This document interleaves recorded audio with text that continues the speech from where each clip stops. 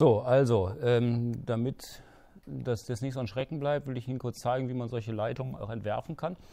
Relativ einfach. Unter Linux finden Sie bei Bildung eben QX. Äh, Sie müssen da irgendwie das QX auch bei sich irgendwo finden. Das ist ein ja, Quite Universal Circuit Simulator, also ein Schaltungssimulator, der äh, auch, und das können die meisten eben nicht, so wie LT-Spice und so, der eben auch mit S-Parametern, also mit linearen HF-Elementen rechnen kann, was wir äh, später noch mehr nutzen werden. Was wir jetzt einfach machen werden, ist einfach nur mal in das hm, die Tools nutzen. Wir können gleich noch ein paar andere Sachen ausprobieren. Und dann gibt es hier zum Beispiel ähm, die Line Calculation. So nennt sich hier Qux Transcalc, whatever. Und gucken wir uns mal hier die Mikroschreifenleitung an. Das ist das alleroberste da. Und dann können wir hier eine, äh, die Parameter für die Mikroschreifenleitung wählen. Meinetwegen Epsilon R von 2,9. Ja, nehmen wir mal hier von 2,2.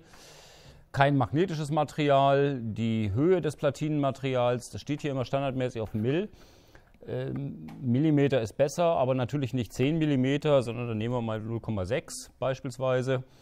Die anderen, also die HT, die Höhe der ähm, und die Dicke der Leitung brauchen wir nicht wirklich. Die Leitfähigkeit lassen wir auf dem Wert, auf dem sie steht. Und hier die Weite und die Länge schalten wir auch nochmal um auf äh, Millimeter. Und jetzt sagen wir mal einfach, das machen wir mal einen Millimeter lang, das Ding. Und dann drücken wir hier auf Analyze. Und dann kriegen Sie raus eine 1 mm dicke Leitung. Hier, also dieses W ist 1 mm. Die Höhe ist ein halber, guter halber Millimeter, also 0,6. Ähm, die hat eben 72 oder 73 Ohm. So.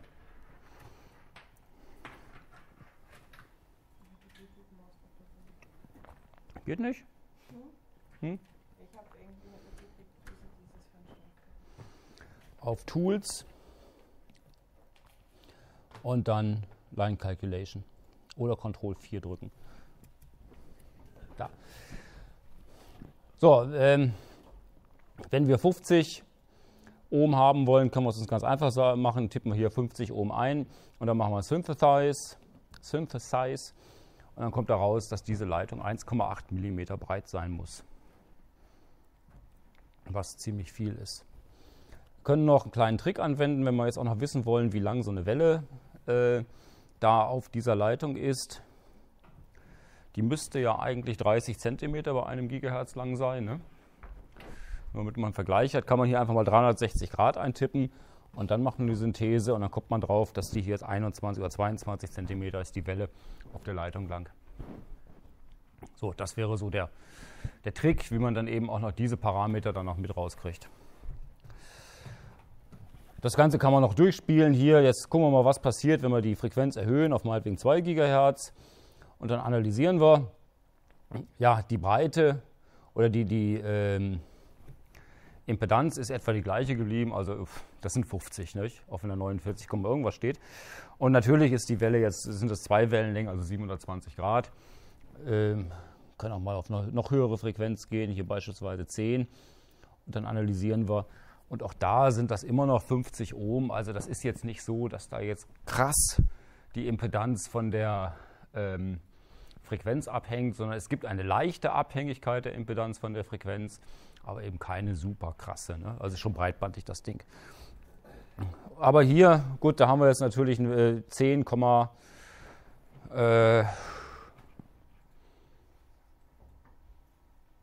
5% mehr. Ne? Also es sind 10,5 Wellenlängen jetzt etwa. Ne, 10,05 Wellenlängen.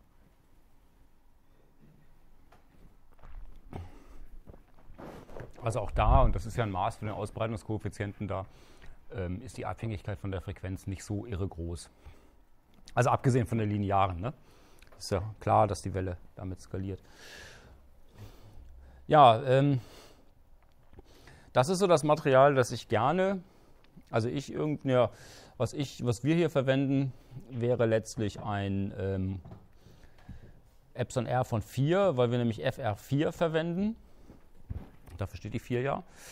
Und wenn wir da eine 50 Ohm Leitung bauen mit 360 Grad Länge und das synthetisieren, dann ist die immer noch 1,23 mm breit. So, das ist durchaus ein Wort. Ne? Also jetzt so in der ähm, Niederfrequenztechnik 1,2 mm breite Leitung würden Sie eher selten ziehen. Ich zeige Ihnen aber noch was. Ich habe jetzt hier ein Material genommen, das hat eine Dicke, also eine Platine, die hat eine Höhe von 0,6 mm. Das ist nicht das Material, das wir hier standardmäßig verwenden, sondern das, was wir hier jetzt haben, ist ein schon speziell dünnes.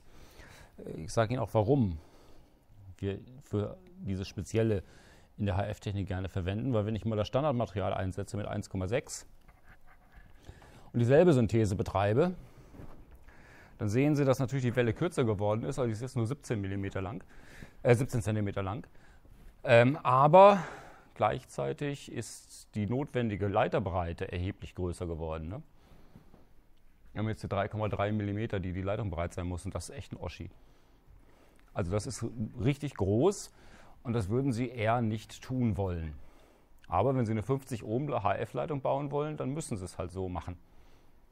So, deswegen nimmt man dann dünneres Material. Und ähm, ja, deswegen nimmt man dünneres Material oder würde man ein dünneres Material nehmen.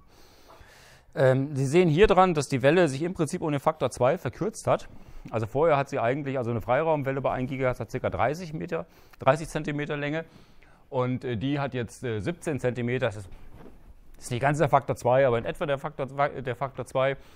Und äh, die Wurzel von dem Epsilon R, das ja 4 ist, ist auch 2.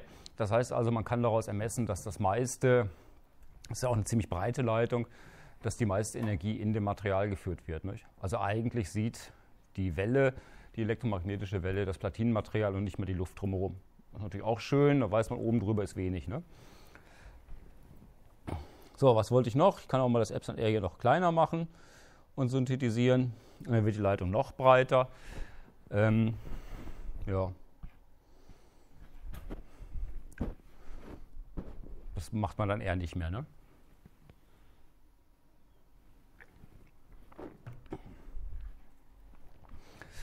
Gut oder nicht gut. Was ist der Sinn der Rede eigentlich? Ähm, Im Wesentlichen möchte ich Ihnen hier ein Tool vorstellen, wenn Sie nämlich in der HF-Technik irgendwelche Leitungen mal entwerfen müssen oder Leitungen ziehen müssen, dann machen Sie nicht einfach nur einen Strich da im Igel und hoffen, dass der da auch die richtige Breite hat, sondern rechnen Sie es vorher aus. Und das kann man ganz einfach machen. Da ist das Tool dazu. Das ist eigentlich der Redesinn hier. Ne? Und dabei bleibt es ja nicht bestehen, sondern wir können ja hier auch noch eine äh, Koplanarwelle machen. Dann ändert sich das ganze Bild hier. Nehmen wir mal unser Material wieder. Und Epsilon R gleich 4. 0,6 Dicke. Und ja, stellen wir mal alles auf Millimeter um. So, hier haben wir jetzt natürlich zwei Parameter, oder ja, zwei Parameter, nämlich einmal die Breite des mittleren Streifens, aber auch den Abstand hier. Und da wir aber nur einen Parameter haben, auf den wir nämlich hier äh, wirklich optimieren können, nämlich, nämlich das Z0, ähm, müssen wir einen Freiheitsgrad festlegen. Also müssen wir uns überlegen, was wir eigentlich jetzt wollen. Wie groß machen wir den Abstand hier? Probieren wir mal aus. Abstand von 2 mm zwischen dem Mittelleiter und den Außenleitern. Und jetzt synthetisieren wir das mal und dann kommt Mist dabei raus. Ne? Also dann haben wir hier jetzt eine Leitung, die ist ähm, bei einem Gigahertz 106 mm breit. Das ist irgendwie jetzt nicht so praktikabel. Ne?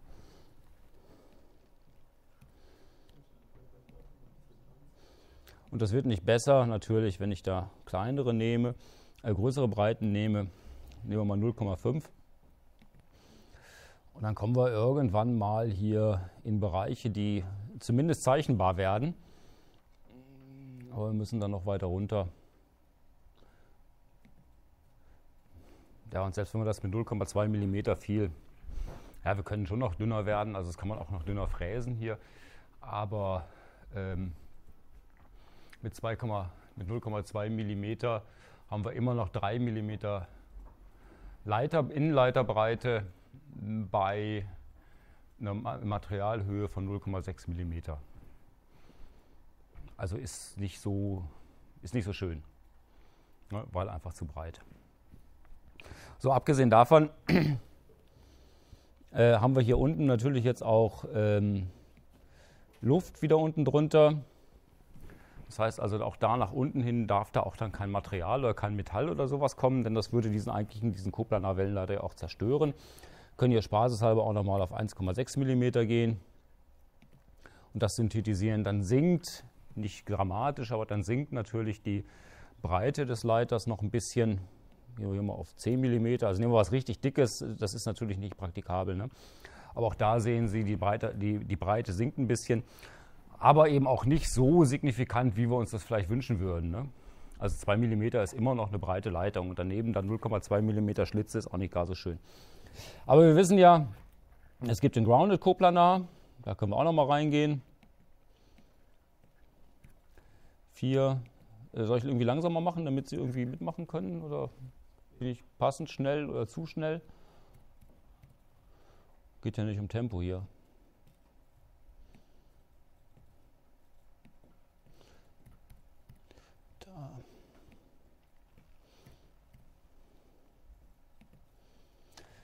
So, das wird ein bisschen praktikabler. Ne? Was jetzt auch fast zu sehen ist, denn, äh, fast einzusehen ist, denn das ist ja eine Mischung hier zwischen dem, äh, der Mikroschreifenleitung und der anderen.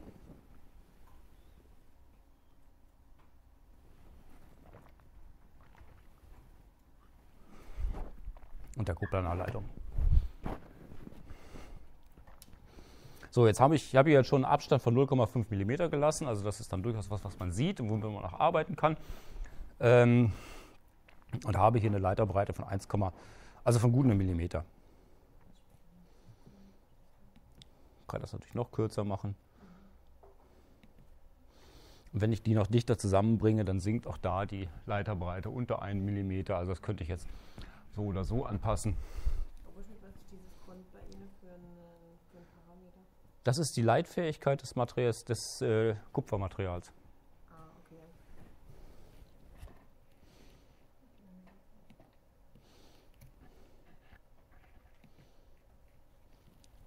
So, und selbst wenn ich jetzt ganz pauschal mal so ein Millimeter und Viertel Millimeter, äh, ein Millimeter Dicke, ein Viertelmillimeter Viertel Millimeter Abstand nehme, kriege ich hier in etwa eine 50 Ohm Leitung, also 48,5 raus. Boah, so ist.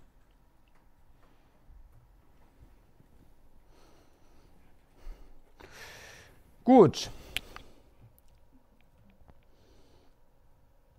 So, ähm, was kann ich damit machen? Kann ich damit irgendwas machen? Machen wir einen kurzen Ausflug, ähm, einen begrenzt sinnvollen überhaupt in die Simulation. Und zwar ähm, gucken wir uns einfach mal an, ja, was passiert. Ne, fangen wir mal mit einer ganz einfachen Simulation an, ohne erstmal eine Leitung dazwischen zu haben und bauen mal eine ganz einfache HF-Schaltung auf. Und zwar nur eine mit einem Widerstand. So, haben wir einen Widerstand hier. Den können wir uns, wir gehen hier auf Komponenten, Lumped Components. Ja. Und dann ähm,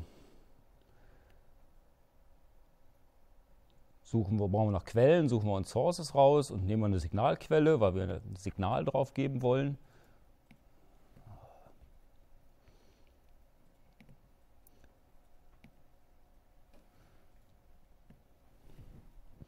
Kann man auch mit Steuerung C, Steuerung V kopieren. So, Sie sehen, die werden nummeriert mit P1 und P2 hier. Sind jetzt nicht verbunden. Wir müssen die Signalquellen noch auf Masse legen. Zack. Und zack. Und dann müssen wir hier noch mit dem Wire-Tool, hier ziehen wir noch Drähte, einfach an dem Anfang klicken und am Ende klicken, dann ist das verbunden. Ja, und das war es auch schon. So, was haben diese Signalquellen jetzt? Diese, diese Generatoren hier haben eine, ähm, also einmal eine Nummer, sie haben eine Quelle oder, ja, und einen Innenwiderstand und dieser Innenwiderstand ist hier standardmäßig auf 50 Ohm eingestellt, das sind die meisten da die meisten, also viele HF-Quellen arbeiten eben auf einem 50 Ohm-Niveau, weil die meisten Leitungen auch auf 50 Ohm eine charakteristische, charakteristische Impedanz von 50 Ohm haben. Und dann macht man die Generatoren gleich angepasst. 50 Ohm. So, Punkt. Also ist nichts weiter als Spannungsquelle mit einem Innenwiderstand dran. So, jetzt müssen wir dem noch was sagen, nämlich müssen wir ihm noch sagen, was er hier eigentlich tun soll. Das finden Sie unter Simulations. Wir wollen eine S-Parameter-Simulation haben, ohne dass ich jetzt schon erklärt habe, was S-Parameter sind.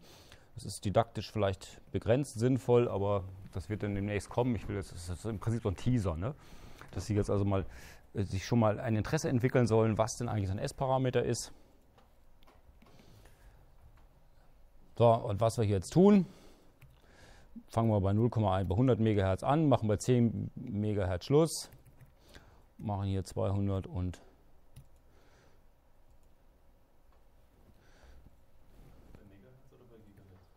Bitte? Bei Megahertz oder Gigahertz? Den Gigahertz so stellen, Megahertz so. Äh, 100 Megahertz habe ich gemeint und 0,1 Gigahertz geschrieben, ja. Was das gleiche ist, aber äh, ja, ja, Sie, im Prinzip haben Sie aber recht. Ah, ist auch egal. So, wir können jetzt einen Schritt weiter, was ich, von meinetwegen von 9,9 Megahertz machen oder so. Ähm, oder eine Anzahl von 1000 Schritten, das ist so einfach, das macht er relativ schnell. Und dann machen wir OK, speichern das noch ab, weil sonst geht es nicht. Nennen das irgendwie. Und das haben wir ihm gesagt. Er soll diese Schaltung hier, also eine 50 Ohm Quelle mit einem 50 Ohm Widerstand in Serie mit einer anderen 50 Ohm Quelle jetzt mal simulieren. Also im Prinzip arbeiten da aber zeitversetzt nacheinander zwei Quellen gegeneinander. Nämlich einmal wird, diese, wird an dieser Quelle gesendet, ein Signal, äh, über den 50 Ohm Widerstand passiert halt irgendwas. Und hier auf der anderen Seite wird es empfangen und wird geguckt, wie viel ging durch. Und wie viel wurde hier vielleicht reflektiert, also ging nicht durch. Und dasselbe machen sie von der anderen Seite auch nochmal. Nur das ist jetzt begrenzt interessant, weil es ist völlig symmetrisch. Also die äh, Quelle 1 wird sich genauso verhalten wie die Quelle 2 oder umgekehrt. Quelle 2 wie Quelle 1, ne? weil das ist einfach in sich äh, reziprok und symmetrisch ist. So, wenn wir auf das Zahnrad hier klicken, dann simuliert er was, dann passiert irgendwie schnell irgendwas keiner hat was gesehen. Und dann können wir uns hier ein kartesisches Diagramm suchen und dann finden Sie S11. Das da oben, da ist ein Zahnrad. Bei Ihnen nicht? Eventuell sind da zwei Pfeile, wenn der Bildschirm zu klein war. Dann müssen wir auf die zwei Pfeile klicken.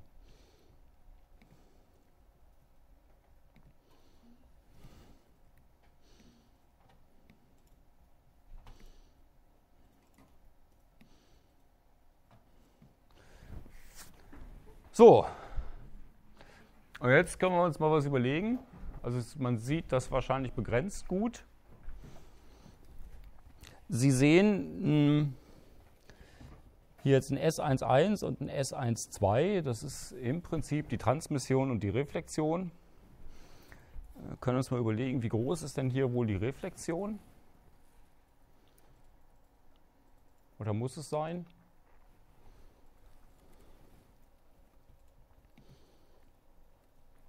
Na, welchen Widerstand sieht die Quelle 1?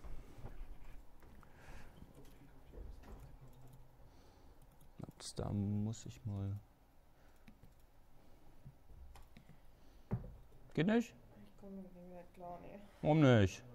Ich weiß nicht, ich bin da nicht mitgekommen. Ja, ich mach sofort. Ich muss jetzt muss gerade mal einmal eine Seite einrichten. So. Ich habe nur Spannungsquellen und die haben also so Wechselspannungsquellen und die haben irgendwie keinen Innenwiderstand. Also ich habe überhaupt keine Signalquelle. Hat das Problem noch jemand? Sie haben sich wahrscheinlich das falsche Kurs runtergeladen. Kann schon sein. Ja, Sie haben Qux Studio. Okay. Das ist, sollten Sie auch nicht. Also ist auch schön, aber das sollten Sie auch nicht runterladen. Nee, das hat das halt nicht. Okay. Ähm, ja. Bitte? Anderen hochfahren, Ja, ich habe gesagt, ich kann den anderen auch hochfahren, ist aber egal.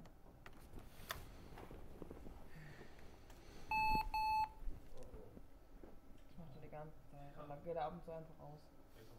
Und du hast da genau das.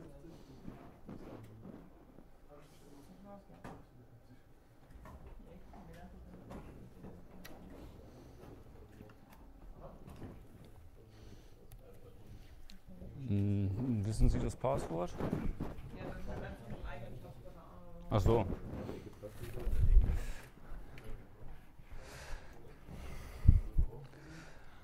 Gut. Ähm,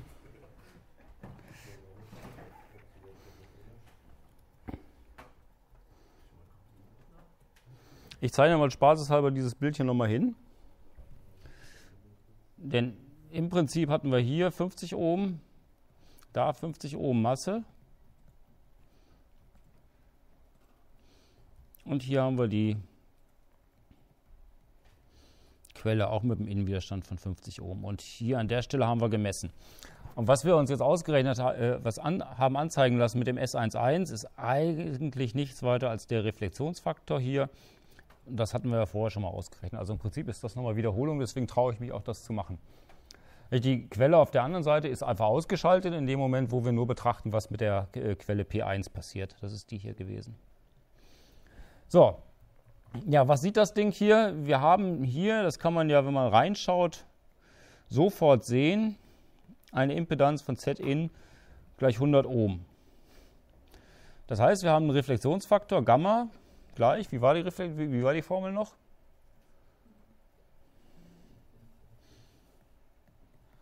Zin minus Z0 durch Zin plus Z0, ne? So? okay, das heißt also, äh, wir sehen hier 100. Das heißt, hier oben steht 50. Die Einheiten spare ich mir. 50 durch 150 ist gleich ein Drittel. Ne? Das heißt, wir müssten eigentlich sehen, dass da ein Drittel da zurückgekommen ist. Und das sehen wir hier auch. Das ist ein Drittel. Ich habe jetzt keinen Marker drauf gesetzt, kann ich natürlich machen. Da, da so, 0,333 ist sehr schön gerechnet. Ne? Also, Reflexionsfaktor der Amplitude von einem Drittel.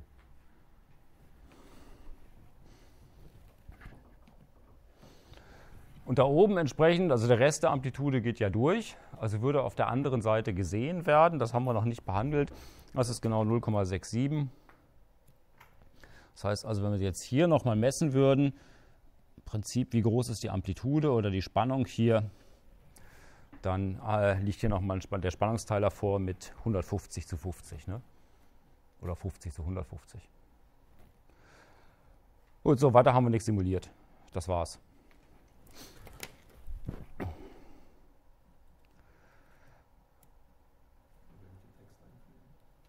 Kann auch Text einfügen, ja. Aber jetzt gerade nicht.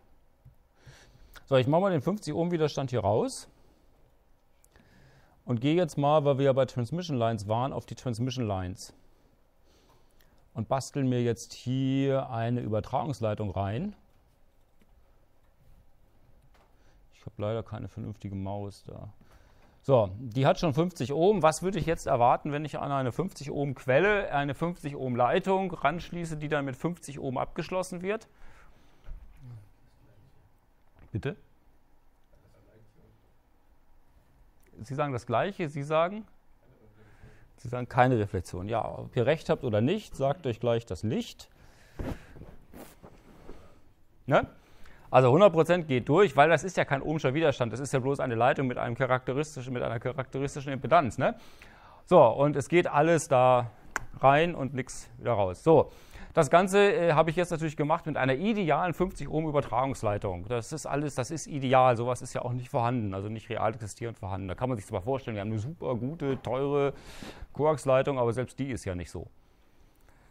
Ähm, wir waren in dem Kapitel Mikroschleifenleitung und so. Dann bauen wir uns doch mal eine richtige. Mikroschleifenleitung. Ähm, und zwar, wie wir sie haben: 4 mm 0,6 Millimeter, Millimeter, Millimeter, 50 Ohm synthetisiert, eine Wellenlänge lang. Super. Und machen wir mal Copy to Clipboard hier. Dann passiert nämlich was ganz Tolles. Ich kann die mal da rausmachen. Wenn ich jetzt hier Steuerung V mache, dann kommt genau diese Struktur da rein. Da kommt noch ein bisschen mehr Muschnulliguli dabei rein, den ich eigentlich nicht haben möchte. Äh ich mache mal eine ganze Menge weg. Also alles, was mich nicht wirklich interessiert, weg. Weil was ich brauchte hier, ähm, ich hätte mir, also hätte das alles verwenden können, nicht? aber ich möchte es ja in meine bestehende Schaltung einbauen. Was ich brauche, ist eine Definition eines Substrats. Also ich muss ja der Maschine sagen, mit welcher Platine ich arbeite. Das ist dieses komische Ding hier, dieser Kasten. Das kann man sich vorstellen wie zwei Layer Platine. Und ich brauche so ein Stück Leitung. Das ist eben hier genau diese Mikrostreifenleitung. Ein Doppelklick lässt die aufgehen. Und dann können Sie sehen, dass hier verschiedene Parameter, wir gucken uns hier nur die Breite und die Länge an, einget automatisch eingetragen wurden. Äh, Sie sehen, das Modell ist Hammerstadt. Das ist genau die Formel gewesen, die ich Ihnen eben gezeigt habe. Also diese Formel, die wir eben auf, auf dem Dings hatten und die Sie für die Klausur bitte auswendig lernen, die ist äh, da, ähm, äh, die liegt hier dahinter.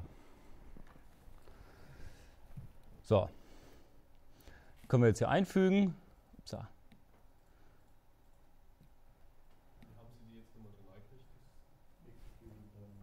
Ja, unter Execute finden Sie Copy to Clipboard. Und dann ist es im Clipboard und dann gehen Sie nur noch rüber auf das Schematic und können das da mit Steuerung V oder einfach nur mit Edit und Einfügen dann da reinfügen. So, und das reflektieren wir, das, ups, äh, das kopieren wir jetzt auch rüber. Und dann sehen Sie, dass diese Leitung jetzt, sie ist glaube ich nur eine Wellenlänge lang, ähm, dass diese Leitung da ähm, ein bisschen dämpft. Also es geht jetzt nicht mehr 100% durch wie bei der idealen Leitung, sondern es, gehen jetzt am Ende nur noch irgendwie 95 oder 94% der Amplitude durch. Das kann man jetzt noch umrechnen auf Leistung und es wird ein bisschen was reflektiert. Weil diese Verluste im Prinzip an dem liegen, was wir eben mm, eigentlich nicht eingestellt haben, nämlich Verluste im Material und Verluste äh, vor allen Dingen im Kupfer. So. Jetzt können wir anfangen zu spielen, können die jetzt mal ein bisschen, was weiß ich, bringen jetzt mal unseren Fertigungsprozess hier ins Spiel und sagen, wir können nur 1,3 mm übel nehmen.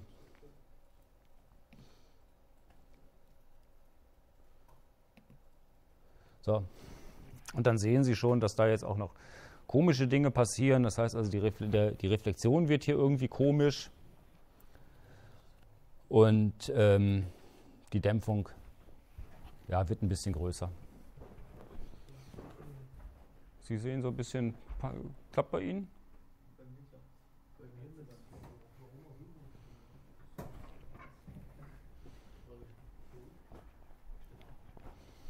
Also dieses Qux Studio ist im Prinzip.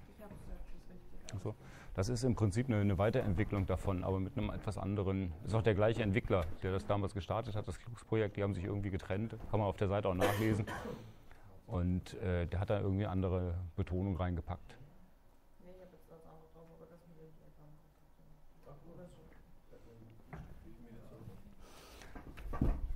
So, was hier unten mit dieser Welligkeit passiert, das diskutieren wir alles ein bisschen später mal. Wir haben jetzt also im Prinzip eine einfachstmögliche HF-Schaltung da simuliert. Oh, und das ist der andere Sinn der Geschichte hier gewesen, dass Sie so ein bisschen mit dem Simulator sagen mal, warm werden, vielleicht auch selber mal was probieren. Ne?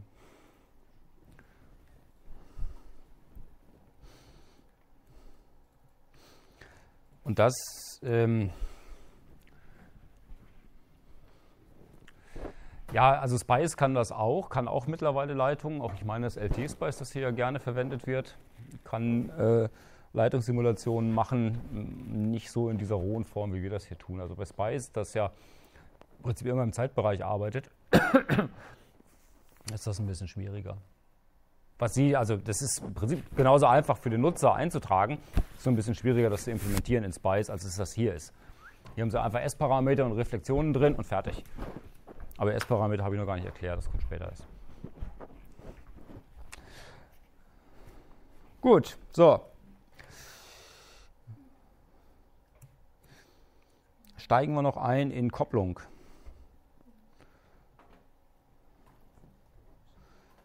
Also sind im Prinzip wieder in der Vorlesung. Oder wollen Sie noch ein bisschen? Noch fünf Minuten spielen. Können wir Vorlesung machen, ne? So, was passiert, wenn, ähm,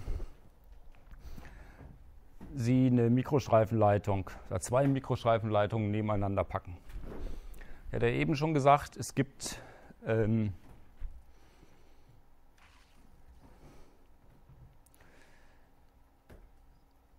es gibt Feldausdehnungen der einen Mikrostreifenleitung und wenn Sie die jetzt in, die andere, in, in das Feld der anderen reinpacken, dann kann das oder führt das zu Verkopplungen. So, wie sehen jetzt die Felder von so gekoppelten Mikrostreifenleitungen aus? Das, sind, das muss man ja als in, im Prinzip jetzt Dreileitersystem betrachten. Sie haben hier unten einen Leiter, den kann man mit 0 bezeichnen, und hier oben Leiter 1 und Leiter 2. Das ist aber ein Zweileitungssystem. So, und wenn wir jetzt uns das Feld angucken, dann können wir erstmal davon ausgehen, beide hier sind in Phase, plus plus, hier unten ist Minus. Das heißt, wir reden von der Gleichtaktwelle und ähm, da die beiden auf gleichem Potential liegen hier, sieht vielleicht das Feld so aus. So, da wird es nichts geben. Und hier hinten noch wieder rüber.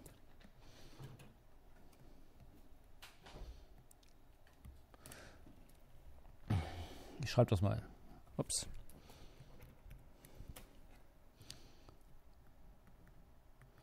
Gleich. Takt. Gut, so. Ähm, dem Ganzen könnte man jetzt eine äh, Gleichtakt-Impedanz zuordnen. Also könnte einfach sagen, wenn ich jetzt hier äh, an irgendeiner Stelle beide Tore mit der gleichen Phase beschicke, und die Welle einfach so auf beiden Leitungen gleich parallel dadurch schicke, dann kann ich dem eine Impedanz Z E, Z für E für Even, also für eine Gleichtaktimpedanz zuordnen. Und auch da gibt es jetzt, weil es da ja einen kapazitiven Belag gibt, es gibt dazu eine Feldverteilung, es gibt noch einen induktiven Belag, dem kann man jetzt einen Ausbreitungskoeffizienten zuordnen und so weiter. Das heißt, man hat jetzt also hier eine Gleichtaktwelle unterwegs, die all die äh, Parameter auch hat, die andere Wellen auch haben. Es gibt aber auch natürlich die andere Möglichkeit noch, dass man hier ähm, meinetwegen den hier auf Plus hat, den auf Minus und den irgendwie auf, auf Ground oder so. Ähm, also wirklich eine Gegentaktwelle aufbaut. Und dann sieht beispielsweise das Feld eben so aus.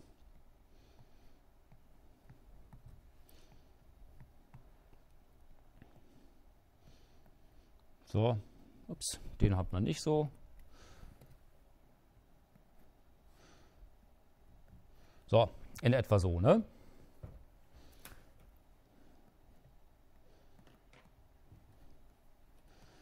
Also eine völlig andere Feldverteilung.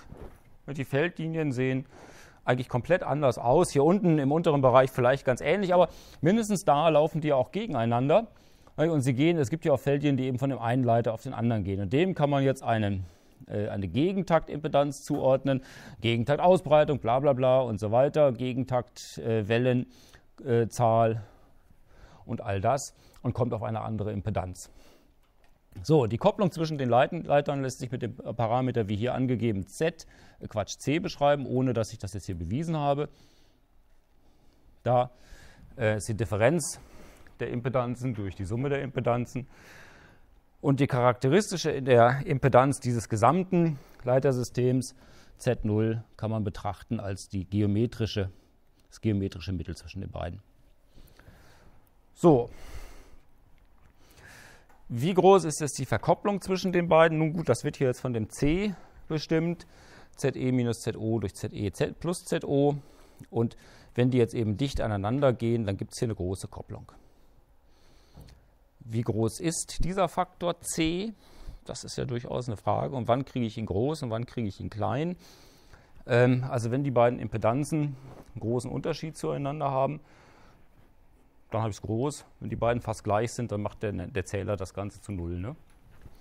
So, wann sind die beiden gleich und wann sind die beiden groß? Äh, sind die beiden unterschiedlich? Nun, wenn die Feldverteilungen fast so aus, fast gleich aussehen, vielleicht mit einem anderen Vorzeichen. Dann sind die Impedanzen ähnlich und das sind sie genau dann, wenn die weit auseinander sind. Die beiden Metallstreifen hier weit auseinander mache, dann sehen die im Prinzip so aus wie, wie einzelne Mikrostreifenleitungen. Ähm, bei der Gleichtaktwelle sowieso, kann man sich das leicht vorstellen. Bei der Gegentaktwelle ist nur bei der einen, bei der einen Mikroschreifenleitung anderes Vorzeichen dabei. Masse bleibt die Masse und einmal gehen die Feldlinien eben vom Leiter nach unten zur Masse und einmal gehen die von der Masse nach oben, also es ist nur der Pfeil andersrum. Aber die Feldverteilungen sehen ähnlich aus, wenn die Streifen weit auseinander sind. Das heißt also weit auseinander, C klein, dicht zusammen, sehen sie dann komplett anders aus, weil nämlich auch genau diese Anteile hier, die hier so quer rübergegangen sind, dann eine große Rolle spielen. Und dann ist eben das C hier auch entsprechend groß. So, das kann man hier mal mit einfach dieser Formel da äh, eingeben. Wenn man jetzt die Impedanzen dabei ausrechnet, machen wir gleich mal kurz, dann kriegen Sie hier ähm, solche Koppelkoeffizienten raus, die je nachdem, wie groß der Abstand hier ist, ich habe hier gewählt. Ein Parameter muss man ja auch immer dazu sagen, was hat man denn jetzt hier eigentlich für esoterische Werte genommen. Das ist im Prinzip in der rohen Variante eine relativ einfache äh, 50 Ohm Leitung. Äh, Breite 1 mm, Höhe des Materials äh, auch 1 mm, ein Epsilon-R von 9,7. Das ist ein Aluminasubstrat da, das nimmt man in der HF-Technik ganz gerne. Das ist nicht unser FF4. Ich rechne es gleich aber auch nochmal mit FF4. Und wenn Sie dann da rangehen, dann sehen Sie, dass beispielsweise bei 1 mm Abstand, also Abstand gleich Leiterbreite, haben Sie immer noch so einen Koppelkoeffizienten von minus 15 dB. Das ist immer noch ein Dreißigstel. Ne? So, das ist jetzt, kann eine Menge sein, je nachdem, was für Energien äh, oder für unterschiedliche Signale da transportiert werden. Und das fällt auch gar nicht mal so weit ab. Wenn Sie hier die fünffache, das ist etwa hier, äh, einen fünffachen Abstand äh, der beiden Leiter voneinander haben, wie die Leiter breit sind, das ist auch so das Maß, das man etwa annimmt für so, dann sind sie entkoppelt, dann kommen Sie hier auf irgendwas von ca. minus 30 dB, also ein Tausendstel als Koppelfaktor. Ne? Sprich also, wenn Sie eine Mikroschreifenleitung haben von einem Millimeter Dicke, brauchen Sie zu beiden Seiten 5 mm Platz. Genau, da zieht man die Augenbrauen hoch, weil man jetzt merkt, wie groß so eine HF-Schaltung wird. Ne? Also das ist einfach irre, was das an Platz auf der Platine verbraucht. Nun, man muss sich darüber Gedanken machen, weil stellen Sie sich mal vor, auf der einen Leitung, das ist Ihre, Ihr Sendesignal, das so mit 2 Watt da unterwegs ist, und auf der anderen Leitung wollen Sie es zur gleichen Zeit empfangen mit Picowatt. So, da ist schon ein Koppelfaktor von 1000 einfach zu viel. Ne? Wenn Sie natürlich auf beiden Leitungen irgendwie ähnliche Signale haben, die sich vielleicht auch gar nicht beeinflussen oder ähnlich schwache Signale haben und es gar nicht darauf ankommt, dann ist das alles relaxed. Aber eben, wenn das eine beispielsweise der Sendepfad ist und das andere Empfangspfad, dann ist das ein Problem. So, das können wir auch mit dem QX-Trans simulieren. Hier äh, Coupled Microstrip, da nehmen wir mal wieder 4. H 0,6. Alles andere lassen wir so. Ähm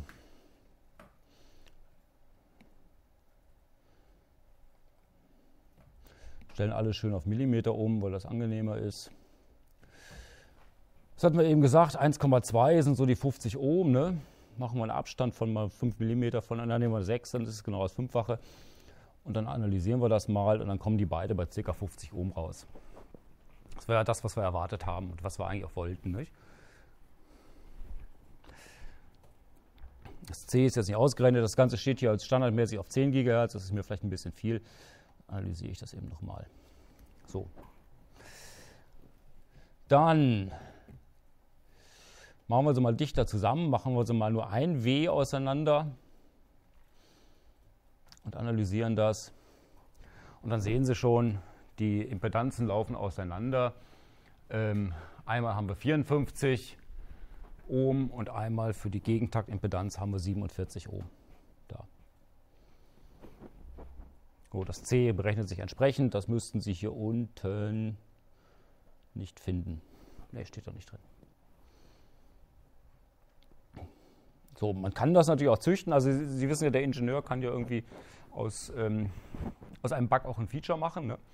Und natürlich, wenn ich die Leitungen separat haben will, dann ist das ein Bug, wenn die sich verkoppeln. Wenn ich aber genau vielleicht das haben möchte, also vielleicht einen Koppler bauen, ich möchte irgendwie ein Gerät haben oder ein Bauelement haben, das mir einen Teil, meinetwegen Tausendstel der Leistung, irgendwo in einer anderen Fahrt koppelt, damit ich es messen kann. Und dann habe ich irgendwie zwei Watt, die gehen geradeaus an die Antenne und da sollen sie auch hin. Und hier äh, zwei Milliwatt Das ist schon eine Menge, ne? also vielleicht sogar noch weniger. Aber 2 Milliwatt füge ich, Tausendstel äh, gebe ich, einen anderen Zweig und messe danach, weil dann kann ich nämlich nachmessen, ob die 2 Watt wirklich an der Antenne sind. Also könnte mir eine Regelung aufbauen oder zumindest eine Steuerung oder Überwachung aufbauen. Ne? So, und wenn ich das machen möchte, dann gehe ich eben mit den Dingern noch dichter aneinander, vielleicht mit 0,2 mm für ein Stück und analysiere das. Und dann sehe ich, dass die Impedanzen noch weiter auseinanderlaufen. Also ich kann mit so gekoppelten Leitungsstücken noch viel, viel mehr tolle, tolle Sachen machen. Äh, machen wir auch im Filterdesign. Die einfachste Variante ist vielleicht einfach das zu koppeln. So, jetzt ist es aber nicht so, dass ich einfach die beiden Leiter aneinander machen kann und ähm, egal wie lang die nebeneinander parallel laufen, wird gleich viel gekoppelt. Ich habe so diesen Koppelfaktor C, den ich eben definiert habe. Aber wie viel von der Leistung gerade wirklich rübergekoppelt wird, das ist, steht noch in den Sternen. Weil kann man sich ganz einfach vorstellen, wenn das unendlich lang ist, dann sind es einfach Leitungen, die nebeneinander liegen. Ja, aber wenn die halt kurz sind, dann kommt nicht, also wenn ich da einfach nur ein ganz kleines Stückchen Kupferdings daneben mache, von fast keiner Länge, dann kommt deswegen nicht da Leistung gleich rüber. Ne? Dann passiert vielleicht gar nichts. Also den Grenzfall kann man sich auch immer vorstellen. Also muss ich mir noch überlegen, welche Länge da eigentlich eine Rolle spielt. Aber das mache ich dann, wenn ich den Koppler wirklich designe. Ist das jetzt didaktisch clever? Hm, weiß nicht. Nee, mache ich dann. So, hm, wir sind ja noch im Fall äh, Bug, also noch ist die Kopplung eigentlich für uns ein Bug und noch kein Feature. Ähm, könnt ihr mir so eine Streifenleitung überlegen, das ist im Prinzip eine vergrabene Mikrostreifenleitung. Oder wenn Sie so wollen, auch die Koaxleitung nur etwas anders auseinandergebogen und geschnitten. Ähm, warum ist das gut oder was ist daran gut? Das macht man auch, nimmt man auch ganz gerne. Ähm, erst einmal ist es jetzt eine TEM, Upsa.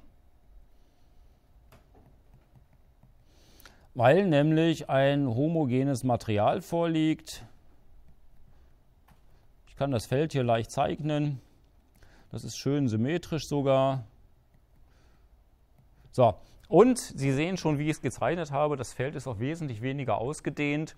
Ähm, als ich die Mikroschleifenleitung gezeichnet habe, musste ich so große Bögen machen, nicht, die also dann ähm, wirklich dann äh, von der Leitung irgendwo im großen Bogen nach, nach unten gingen. Äh, das brauche ich hier jetzt nicht, sondern die Leitungen, äh, die, die Feldlinien werden auf relativ kurzem Wege hier äh, an, den, an der Masse terminiert. So, ähm, damit ist das Feld hier besser konzentriert, aber ich brauche natürlich drei Layers oberen Layer, Mitte, unten. Und ich habe so meine Schwierigkeiten, hier in dem Mittellayer da irgendwelche Bauteile einzulöten. Ne? Weil die müsste ich ja in die Platine löten. Man kann zwar mittlerweile auch Widerstände oder sogar Chips oder sowas äh, in der Platine vergraben, das geht sicherlich, aber ähm, das hat jetzt hier äh, es macht es nicht einfacher. So, wenn, also wenn ich es von Hand machen will, so wie wir das hier im Labor tun, dann müsste ich es von oben auflöten und in der Platine kann ich eben einfach nicht löten. So. Aber auf der anderen Seite, dadurch, dass die Feldlinien relativ kurzfristig terminiert werden, kann ich hier, sind die Felder auch besser zusammen. Das heißt also, ich habe auch weniger Kopplung.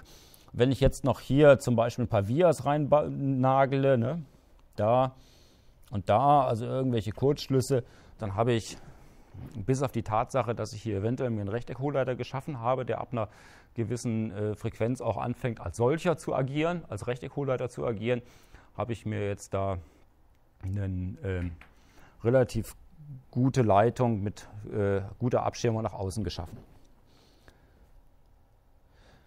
So, wenn die gekoppelt sind, gibt natürlich zwei Varianten, wie ich die zusammenpacken kann. Also entweder ich mache die so schön breitseitig nebeneinander oder ich lege die übereinander, je nachdem, was ich machen will.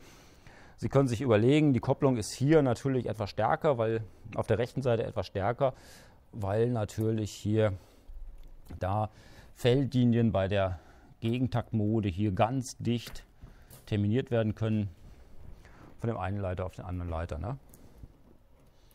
Das hätte ich vielleicht in Blau machen sollen. Weil das eben auch Gegentakt war.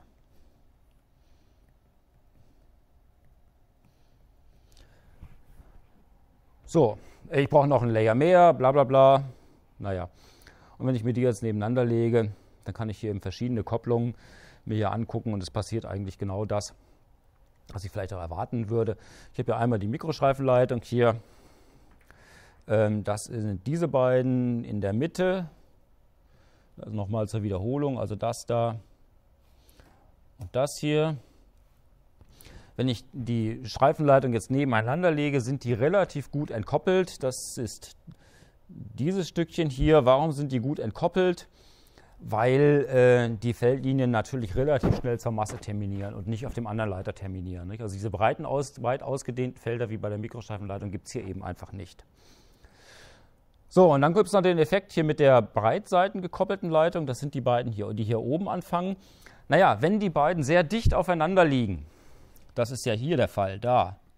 So, dann sind die natürlich auch stark miteinander verkoppelt. Also dann terminieren natürlich auch viele Feldlinien von der oberen auf der unteren Leitung im Gegend, in der Gegentaktbude. Ne? Während wenn ich die hier unten habe, naja, dann habe ich ja die Struktur, wenn ich mir das jetzt hier, da an dieser Stelle beispielsweise mal rausgucke, da habe ich hier Masse, Masse. Und jetzt habe ich den einen Leiter ganz dicht an der Masse und den anderen ganz dicht an der Masse. Das heißt, die Feldlinien terminieren im Wesentlichen auf der Masse und nicht auf der anderen Leitung. Und damit sind die relativ gut, sehr weit entkoppelt.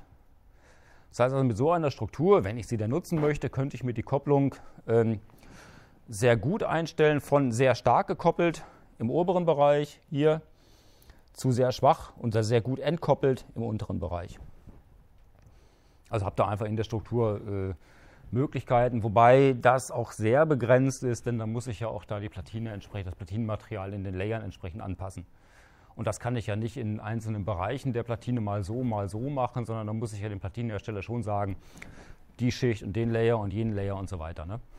Also es ist auch technologisch sehr aufwendig, während bei der Coplanar gekoppelten, die ich hier auf der linken Seite habe, da sind es nach wie vor die drei Layer, die ich da nutze und dann sind die eben einfach dichter zusammen oder weiter auseinander. Nicht? Und das bleibt dann eben auf der ganzen Struktur, auf der ganzen Platine auch so.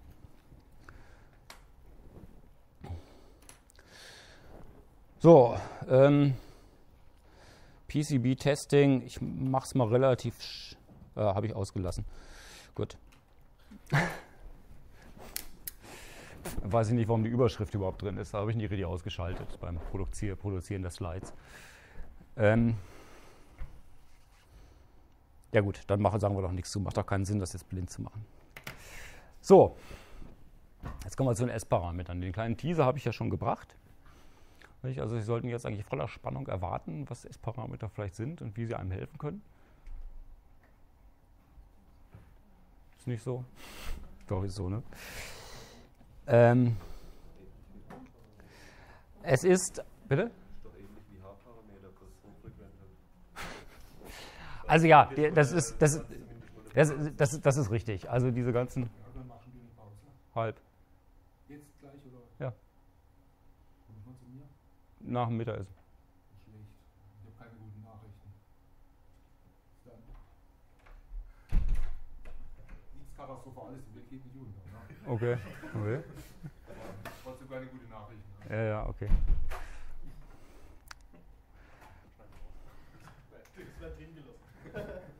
Na gut, so, jetzt äh, hat er mich natürlich, ja, das war auch ein Teaser.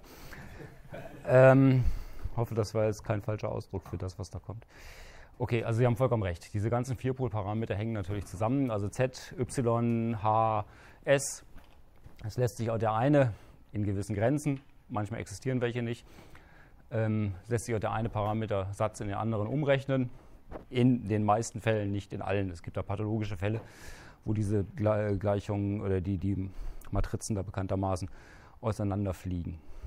So, wir arbeiten trotzdem mit den S-Parametern und zwar, weil die eine ganz wunderbare Anschauung haben. Also ich habe mich immer schwer getan schon mit Z-Parametern. Bei einem, bei einem einen Tor konnte ich es noch verstehen, bei zwei Toren habe ich mich schon schwer getan. Ne? Y-Parameter macht es nicht einfacher gemacht und H-Parameter war für mich irgendwie Schluss. Also auch da konnte ich den einen oder anderen mal zuordnen, was denn da jetzt die Spannungs- und Stromverstärkung und so weiter ist, aber nicht richtig ähm, ja, also nicht, äh, das Gefühl fehlte mir. Ne? Bei S-Parametern ist das meiner Meinung nach anders. Da kann ich nämlich die Parameter eindeutig einer physikalischen Beobachtung auch zuordnen und das ist das Schöne daran. So, ähm, fangen wir doch mal an, was, welches Problem die HF-Techniker immer hatten. Ähm, oder was, welche Probleme wir eigentlich mit den Z- und Y-Parametern haben. So, ähm, man kann das alles und diese Simulatoren machen das auch, die rechnen auch in Y- und Z-Parametern, auch in der HF-Schaltung. Aber äh, wir haben Probleme. Sie müssen nämlich, wenn Sie irgendwelche äh, Z- oder Impedanzen oder Admittanzen oder sowas rechnen wollen, dann äh, müssen Sie unter Umständen in der Messung irgendwelche Kurzschlüsse oder Leerläufe realisieren können. So in der Anschauung mindestens. Und das wird einfach schwierig, so ab 100 Megahertz. Ne? Da, wir haben eben das diskutiert, da ist der Leerlauf vielleicht nicht unbedingt mehr der Leerlauf, sondern die Leitung wird elektrisch noch ein Stückchen länger. Da ist der Kurzschluss nicht unbedingt mehr ein Kurzschluss, sondern eine Induktivität. Ist einfach schwer zu realisieren. Ähm, die Transistoren, wenn Sie mit denen arbeiten wollen, reagieren auf Kurzschlüsse auch nicht so unbedingt sympathisch. Nicht? Also die äh, nehmen das vielleicht sogar übel, weil nämlich da bei einem Kurzschluss ja die, die, die Leistung vollkommen reflektiert wird, beim Leerlauf übrigens genauso. Und dann einfach der Transistor sagt, ist schön, ich gehe jetzt kaputt. Und deswegen äh, ist es in der HF-Technik etwas schwierig, da wirklich mit so einem Kurzschluss oder einem Leerlauf äh, zu arbeiten. Und äh, vielleicht fangen die Transistoren auch einfach an, wenn sie die falsche Impedanz sehen, also leer oder unendlich, an zu oszillieren. Also machen auch nicht mehr das, was sie sollen, verstärken einfach nicht mehr. Das macht es schwierig und ich müsste dann auch Spannungen und Ströme messen und das haben wir auch eingangs schon diskutiert. Spannungen und Ströme messen ist auch so eine Sache, das muss ich nämlich hochohmig oder ganz niederohmig machen. Beides ist schwierig herzustellen, beides ist schwierig, weil dann sehr wenig Energie in irgendetwas reinläuft, also in das Messgerät reinläuft, was ich aber in der HF-Technik brauche. Geht nicht so einfach. Also muss ich irgendwie versuchen, mit Leistungen zu arbeiten, weil es auch einfach viel einfacher ist. Und da helfen uns die S-Parameter. Und frag nicht wie. So, jetzt könnte ich ähm, irgendeiner Spannung auf irgendeiner Leitung ja zwei Wellen zuordnen, nämlich einmal eine hinlaufen, eine rücklaufen. Das ist, glaube ich, bekannt aus anderen Semestern schon. Dasselbe kann ich für den Strom machen. Fertig. Ähm, kann also jede, an jedem Ort einer Leitung U von Z und I von Z als Kombination eben darstellen. Eine hinlaufende, eine rücklaufende Welle, einmal durch das ein Plus und Minus, einmal mit H und R. Das ist nicht so clever gewesen. Na gut.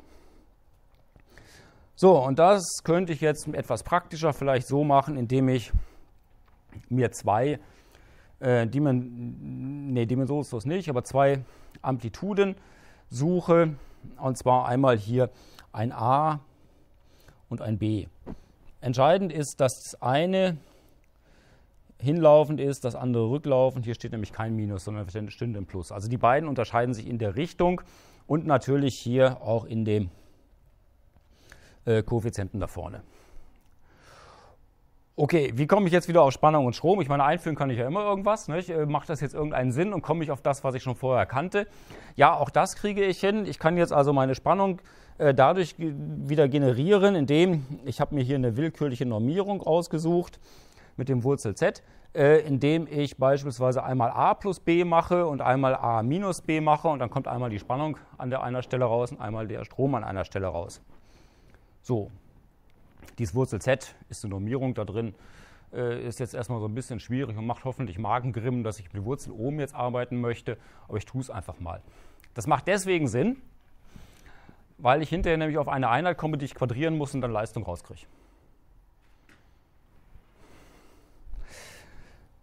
So, ich kann, im Prinzip ist hier eine Matrix aufgebaut, ich kann die invertieren und dann komme ich hier auf ähm, a von z und b von z und äh, ja, kann also aus den Spannungen und Strömen äh, diese a und b Parameter mir aus, ausdenken. Und auch wieder umgekehrt. Okay, und da sehen Sie schon, was die Einheit nämlich ist.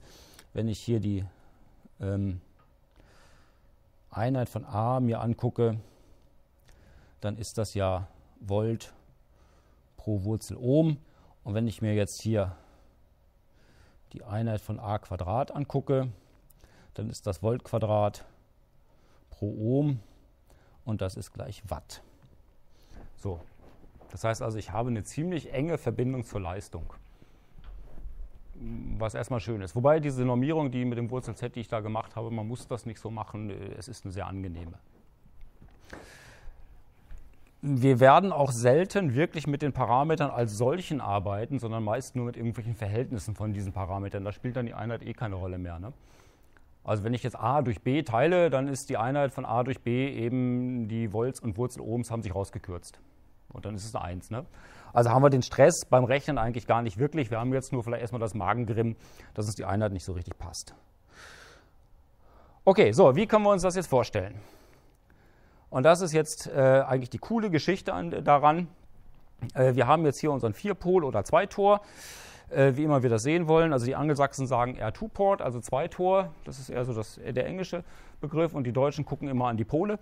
Also die würden das R4-Pol nennen.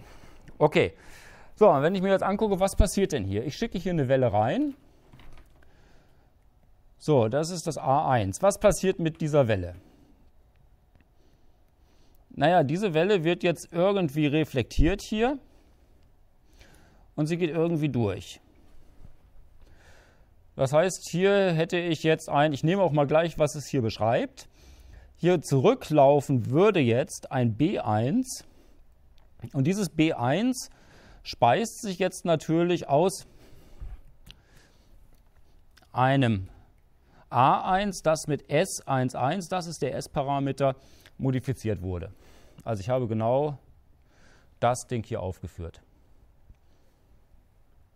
Ne, S11 mal A1 und das macht dann einen Teil von B1 aus. Ein anderer Teil, ich habe ja viele Farben hier, ist ja schön, geht einfach durch. Das wäre das hier. Auch da ist A1 der Treiber. Aber es kommt noch was dazu. Oder es ist modifiziert worden mit S21. Das ist genau der da. Das heißt, es ist dieser Teil hier. Und das ist ein Anteil von B2, also speist dann letztlich das B2.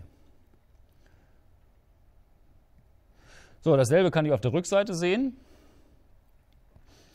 Ähm, meinetwegen schicke ich auch hier ein A2, das ist die zweite, das zweite Tor, rein. Da wird was reflektiert. Daraus wird ein B2. Und das, was da reflektiert wurde, ist natürlich, hängt ab von A2 und zwar durch S22, das ist das hier. Jetzt kommt aber noch was hinzu. Ne, da kommt nichts mehr hinzu. Da, die beiden Dinge zusammen machen jetzt, also der rote und der orange zusammen machen das B2 aus.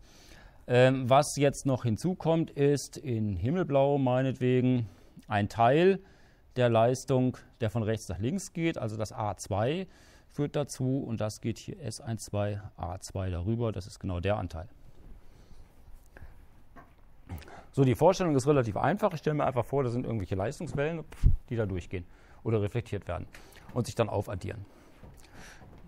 Ich kann dem, und damit habe ich auch fast eine Messvorschrift schon, auch ganz eindeutige ähm, äh, na, äh, physikalische Bedeutungen zuordnen. Und zwar dem S11 kann ich ganz klar die, die ähm, Bedeutung zuordnen. Das ist das Verhältnis von B1 zu A1. Wenn ich mir die Gleichung hier angucke, ist es relativ offensichtlich. Also B1 zu A1 wird dann gleich zu S11, wenn A2 nicht da ist.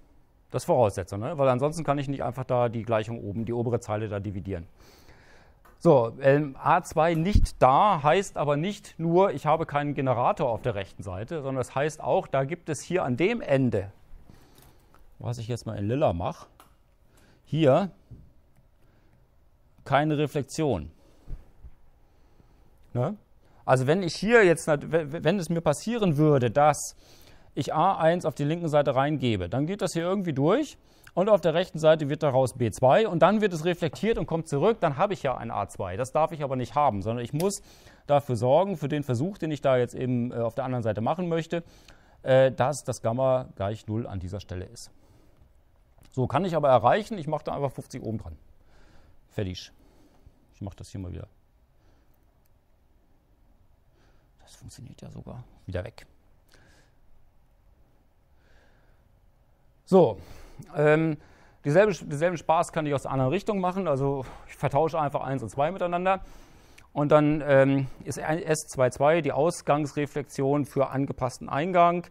Also sprich, ähm, ich schicke ein A2 irgendwie rein und gucke, was an B2 dann zurückkommt, unter der Voraussetzung, dass von links nichts reingekommen ist, also die linke Seite auch reflexionsfrei abgeschlossen war. Nicht nur kein Generator dran, sondern auch reflexionsfrei abgeschlossen. Ja, jetzt kann ich mich um die Transmission kümmern. Also ich gucke mir einfach an, ähm, wie viel B2 kommt aus A1 raus. Also auf der linken Seite gebe ich einen Generator drauf und gucke an, was an B2 rauskommt. Das ist genau der Faktor S21 und äh, muss auch da dafür sorgen, dass kein A2 da war, also reflexionsfrei abgeschlossen. Und dasselbe kann ich wieder machen, indem ich all die Koeffizienten, äh, die Indizes 1 und 2 vertausche und dann kommt eben das andere raus. So, das ist auch schon, wie gesagt, eine Vorschrift zur Messung. Hier und eine physikalische Interpretation.